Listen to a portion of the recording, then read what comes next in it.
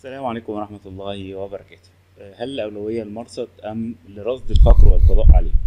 إحنا بنتكلم في في إن في يعني ترند طالع إن في مرصد وصور حاجات كويسة جدا والحاجات دي كلها. فإحنا فوجئنا إن في بلد من البلاد العربية ناوية إنها تعمل مرصد. فأنا كنت بقول إن هو المرصد ده مش من أولويات البلد ديت لأن هو هيتكلف نص مليار دولار وفي مشاكل موجودة في البلد. يعني لو في زيادة في الاقتصاد وفي رفاهية نقدر إن إحنا ندفع الفلوس دي يعني ذكرت المعلومات ال- الأساسية اللي موجودة وعرفت الناس بالمشروع لكن كان ليها وجهة وجهة نظر ان إن الأولوية حاجات تانية.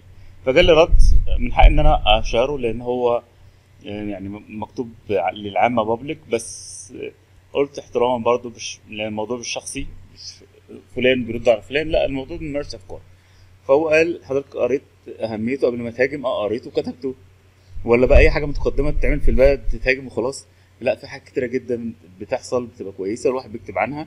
مثلا مشروع المشروع ذا لاين اللي في السعودية. كتبت وقلت وفي كذا محاضرة إن هو في مزايا ويمكن خمس ست سبع محاضرات اتكلمت عن المزايا بتاعته. آه، حسب المخططات الأولية اللي ظهرت لكن لما شفنا إن هو هيتعمل مكثف بدل ما يتعمل بشكل لا ده مصرين ان هم فكرة الأبراج والتطور في البنيان والواجهة تبقى إزاز لانها عكس اللي هو اتقال يعني اللي بيتقال إن هو كان هيبقى دور واحد وخمس دقايق مشي ومش محتاج العربيه ففكره حلوة. لكن فوجئنا إن هو مصرين على فكرة الضخامة والحاجات دي كلها وده اللي بيميز الدول الشمولية والدول الشمولية أسوأ من الدول السلطوية والدول التحكمية لأن عايزة تبقى داخلة في كل حاجة وتشمل في كل حاجة. واللي عايز يستفسر أكتر ممكن يقرأ آه، رواية 1984 والأخ الأكبر يراقبك وهكذا. تمام؟ طيب حضرتك تعرف الأولويات البلد أكثر من اللي قاعد فوق؟ ما هي دي الفكرة إن اللي قاعد فوق ده آه، مش هو اله ده موظف في البلد. فده يعني من ضمن المصطلحات إن المدينة الذكية إن ال- ال- اللي فوق ما ياخدش قرار غير لما يستشير الناس. فهل حصل إن هو استشار الناس وقال له آه المرصد ده هو الأفضل. هل ده فعلا حصل؟ لو حصل. خلاص يعني الدولة قالت يا اخوانا إحنا الأولوية بالنسبة لنا التعليم. خلاص يبقى لازم اللي فوق يتجه للتعليم. لا إحنا شايفين الأولوية للصحة. خلاص اللي فوق يبقى يشمل للصحة. وده اللي بيحصل في كل الدول ال- اللي متقدمة واللي عايزة تتقدم. تمام؟ اللي قاعد فوق دوت ما كانش راجل صالح فربنا راح اداله الحاجة دي هدية وقال له دي دي ليك أنت. اعمل بقى اللي أنت عايزه. وليس هو ذل الله في الأرض. وليس هو ابن الإله. الأفكار دي إحنا توارثناها عن قدماء المصريين يعني من زمان. فكرة إن اللي فوق اللي يقول عليه هو اللي صح ولو قال عكسه يبقى أكيد العكس هو اللي صح يعني هل منظور رؤيتك للامور اللي هي غالبا اخرها بتبقى على مستوى شخصي أو عائلي زي اللي شايف من منظور دولة كاملة بكل ما فيها من متطلبات؟ أنا ما قلتش إن كلامي صح وما فيش ولا مرة قلت إن كلامي صح. لكن كلامي بيبقى ال- اللي أنا شايف إن دي أقرب للحقيقة أو أقرب للواقع. ال- ال- الرؤية الشاملة دي لا تجوز إلا لله.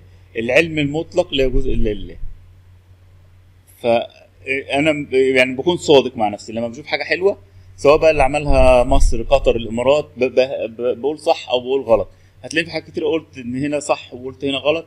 في كل البلاد هتلاقي الاثنين تمام؟ أعتقد إنك اخطات في الحكم بغير تفكير أعمق أو يمكن كره لنظام معين إنه محرك. لا مفيش حاجة اسمها كره لنظام معين. ده سخافة. مش مش قصدي على كلامه. إن حد يقعد يكره نظام معين. لا إحنا أي نظام لازم أنت تتعاون معاه. أول ما باخد خطوة حلوة تقول له آه الخطوة دي حلوة وتشتغل معاه. خد خطوة سيئة بتقول خطوة سيئة وتشتغل معاه على الحاجة اللي صح. وده يعني في في أنظمة كتيرة جدا تعاملنا معاهم رغم اختلافنا الشامل معاه.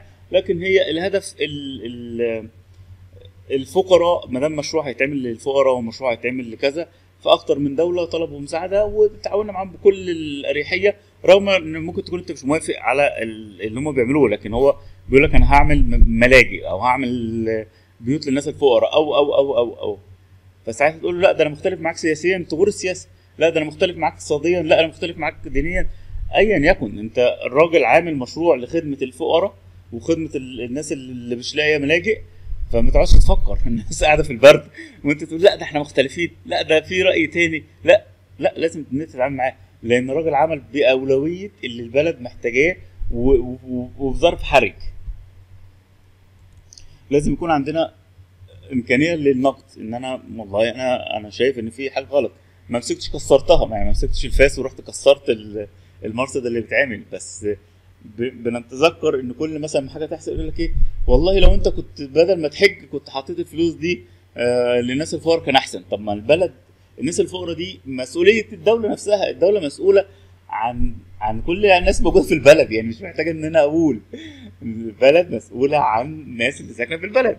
يعني مفسره نفسها يعني مش محتاجة إن الواحد يفسر. فلما المسؤول بتاع البلد يقول لك لا ده أنا عايز أعمل كذا عشان ياخد لقطة أو عشان ياخد شو أو عشان يعمل كذا. وخليني اضرب لك مثال عملي عشان يبقى كلامنا منطقي وعلمي و... ونحاول إن هو يكون محترم. تمام؟ قدر الإمكان. الأصل من ضمن أسباب سقوط الاتحاد السوفيتي ال- اللي هي الدولة الروسية من ضمن أسباب سقوطها إنها اهتمت بنفس الفكرة اهتمت بالفضاء ما هي صرفت مليارات على غزو الفضاء. تمام؟ و- وعملت نهضة علمية رهيبة جدا وخلت أمريكا تبقى محروجه ما عندهاش حاجة خالص. أمريكا ساعتها عملت إيه؟ بص بقى الفرق بين إن الدولة اللي عايزة تتقدم والدولة اللي عايزة صورتها تكون متقدمة. في فرق كبير بين الاثنين أمريكا راحت قالت إيه ده؟ إزاي هم طلعوا الفضاء وإحنا مش عارفين؟ إزاي هم عندهم التقدم العلمي الرهيب دوت؟ تمام؟ فراحوا جابوا خبراء للتعليم. يعني ده موضوع تعليم نجيب خبراء للتعليم. ما نجيبش فنانين ونسألهم يعني مع احترامنا للجميع بس ما ينفعش أجيب ممثل واجيب بتاع كورة واساله في امور مش اختصاصه ده أنا كده بهينه.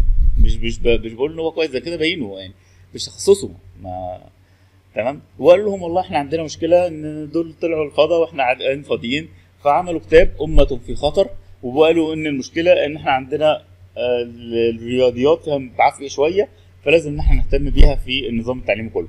وفعلا عملوا كده وقدروا إن هم أول إنسان ينزل للقمر كان تبع ال- الأمريكا. لما الموضوع ده وصل لحد أظن أنيس منصور فاتكلم مع حسني مبارك وقال له والله ده في أمريكا عملت كتاب كذا. فراح نده بقى ال- الناس المتخصصين أظن كان أسامة الباز وراح قال له إحنا عايزين نعمل برضه نفس التجربة. فعملوا كتاب جميل جدا أمة لها مستقبل. في ناس بتقول إحنا هنشوف المشكلة ونبدأ نناقشها عشان نوصل لحل. وفي ناس لأ إزاي؟ ما ينفعش تقول في مشكلة. انت كده بتكره البلد انت كده بتهاجم البلد انت كده يعني أحسن واحد بيفهم في البلد انت كده بتفتي انت كده كذا. انت بتك... ضد عدو البلد انت ممول من بره يا إخوانا في مشكلة إحنا لازم نحلها. عندنا مشكلة في ال- السياحة. السياح اللي بيجوا لأبو الهول أقل مليون مرة من اللي بيروح لتمثال أبو الهول المقلد الصغير اللي مفرغ من جوه اللي موجود في الصين أو في الإمارات أو في أمريكا أو أو أو. فلازم في وقفة في في مشكلة في عندنا مشكلة لازم نواجهها. في واحد عيان بس لا عيب إن أنت تقول عيان كده أنت مش مؤدب. ما تقولش كده أنت كده بتهاجم الراجل دوت وبتقول إن هو وحش. لا الراجل حلو وسليم زي الفل. خلاص يا اخوانا الراجل سليم وحلو زي الفل. أنا العيان. يا اخوانا ما إحنا لازم نعترف بالمرض عشان واحد عنده كورونا. بتلاقي موضوع آه، لا إزاي تقول عليه كده؟ اخوانا عنده كورونا ولازم يتحجر ولازم يتمنع. لازم نواجه المشكلة عشان نعرف نحلها. لازم أول حاجة نعترف إن في مشكلة عشان ناخد خطوات في حلها.